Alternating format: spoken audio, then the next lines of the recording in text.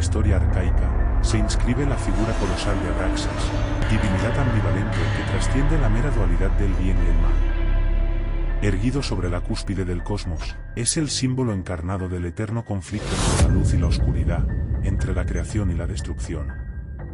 Abraxas, de esencia enigmática, trasciende las limitaciones de los dioses convencionales. Con su mirada penetrante, enciende el fuego de la incertidumbre en el corazón de los mortales. Es el artífice de las tormentas y el arquitecto de las calmas.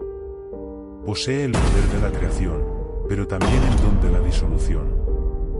Su nombre resuena en los laberintos del tiempo, invocando terror y fascinación en igual medida. Los antiguos le rendían culto con temor reverencial, pues sabían que Abraxas era el guardián de los secretos primigenios, el portador de la verdad más profunda y aterradora.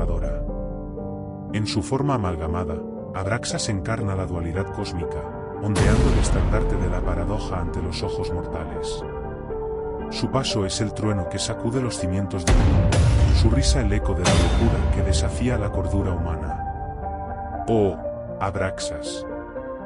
Dios supremo de los extremos. Tu presencia es un eco de la eternidad, un recordatorio de que en el abismo de lo desconocido yace la esencia misma de la existencia. Te tememos y te reverenciamos, pues en tu figura se entreteje el destino del universo, y en tu nombre se inscribe la epopeya eterna del bien y del mal.